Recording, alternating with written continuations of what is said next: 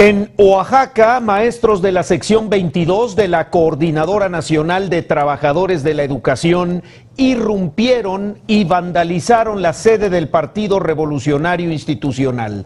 Este es el segundo día en que los maestros quitan propaganda y toman las oficinas de los partidos políticos en Oaxaca como parte de sus acciones para boicotear las elecciones federales del próximo 7 de junio. Te invitamos a seguir cuestionando la información con los siguientes videos.